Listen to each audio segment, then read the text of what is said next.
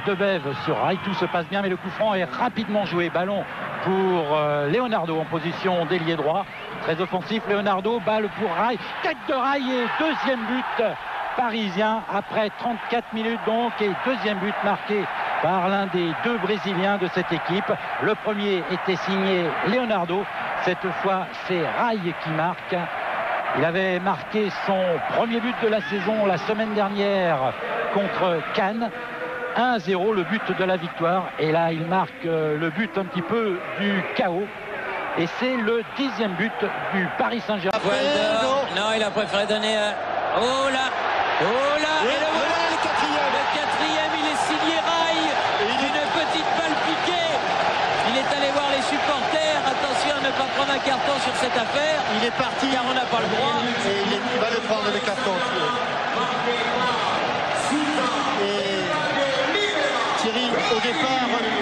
Il va le prendre le carton. Non, Voici. non, non. Non? Non, non. Non, on n'en a pas mis euh, tout à l'heure à Leonardo, il va pas le mettre là. Tant mieux, tant mieux. Et au départ, une, ah, je regardais pas mon écran, hein, Thierry, une accélération terrible de Ngoti et un relais superbe de Julio César Deli Valdés. Une pichonnette, balle piquée, regardez, il va arrêter son geste, passer le pied sous le ballon. Aïe aïe aïe, regardez ce qui se passe à gauche, les sièges qui volent, Les Turcs sont Ouais. furieux. Le Turc, C'est vraiment moins une, Leonardo, d'être averti.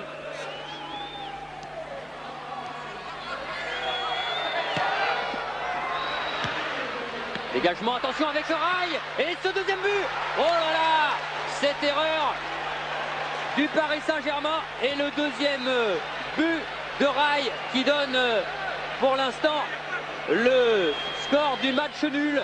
Ah, ça a été rapidement et il peut s'en vouloir. Cyril Demoro, il est blessé également sur cette action. Le Bordelais, mais ça a jeté un coup de froid et ça a vraiment surpris ce but. Deux buts avec à chaque fois des Brésiliens. Les, les deux Brésiliens se sont mis en route. Et c'est vrai aussi que par rapport à cette équipe, on sent une certaine sérénité. Même si elle était menée de 0 on sentait qu'elle était en difficulté, mais elle était toujours présente sur le terrain et dans l'esprit du jeu. Mais quelle détermination et surtout qualité technique de Rai qui arrive à bien contrôler son ballon, à mettre un très bon ballon dessous le gardé. On voit cette amorti de poitrine et on voit qu'il est très bien dans, dans- dans sa tête, bien équilibré et il met le ballon là où il veut. e Torricelli ma assolutamente involontario e poi non era neanche determinante secondo me. Calcio di rigore per il Paris Saint-Germain, quasi 7 minuti di gioco. Rai contro Peruzzi, attenzione. Si infiamma il pubblico. Attenzione, parte Rai ed è gol. Rai 4-1, accorcia le distanze per modo di dire il Paris Saint-Germain, ma insomma è un gol che se non altro Ancora Gueren. Sì, quando il Paris Saint Germain defila molto qui sulla sinistra vanno in difficoltà perché in mezzo c'è, Rai, rimangono e Guerin. Grande giocata quella di Leonardo per Deli Valdes. Attenzione a Peruzzi e sbaglia sicuramente il tempo dell'uscita ed è calcio di rigore. Mi sembra che sia ineccepibile la decisione dell'arbitro, ha sbagliato il tempo, 18 minuti e 20 secondi, calcio di rigore per eh, il Paris Saint-Germain. Sì, quando sembrava che Peruzzi, Peruzzi fosse arrivato sul pallone, Deli Valdez lo ha anticipato, anche secondo me in questa occasione il calcio di rigore c'era, era molto defilato, qui forse Peruzzi doveva rimanere in piedi, vediamo qui, lo anticipa come succede molto spesso l'attaccante va con lo slancio sulle mani di Peruzzi, il calcio di rigore era netto. Si è vista nettamente la puntina di Deli Valdes che ha anticipato Peruzzi, calcio di rigore ed è ancora Rai così come accadde a Parigi che cerca di segnare il gol per la sua squadra. Fischia l'indirizzo del brasiliano quando scocca al diciannovesimo minuto. Parte Rai tiro e Peruzzi non ce la fa 1-1 il risultato quando siamo al diciannovesimo del secondo tempo e vedete gli applausi, anzi gli abbracci tra i giocatori del Paris Saint-Germain.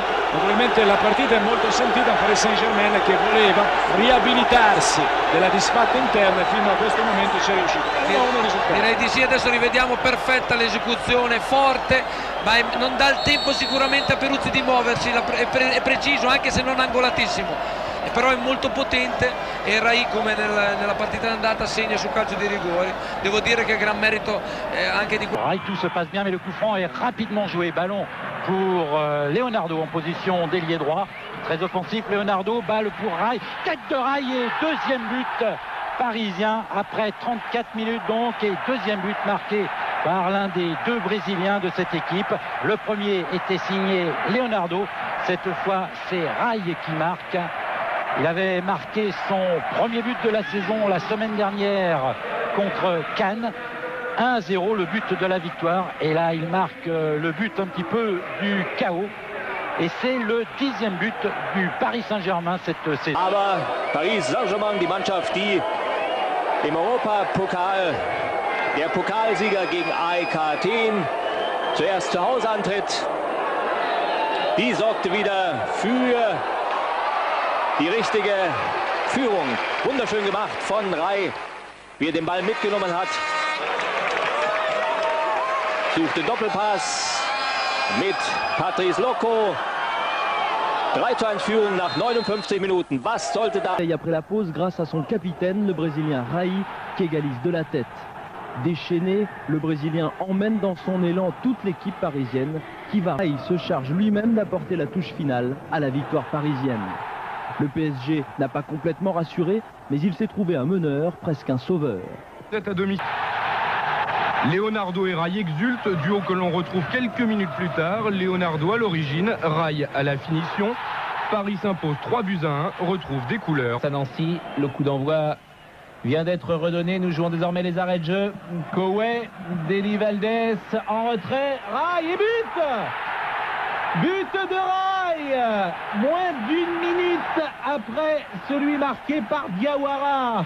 Ouf eh bien, cette saison, il ne faut pas être cardiaque dans les tribunes du Parc des Princes. Bon ballon de Koué. Deli Valdez signe son entrée en jeu. Il est au milieu de deux Bordelais. Contrôle et bon ballon. Et puis, beaucoup de lucidité pour Rai. Il marque là son neuvième but depuis l'ouverture du championnat. Ce n'est pas le meilleur buteur du PSG. Il s'agit de Loco qui a marqué 15 fois.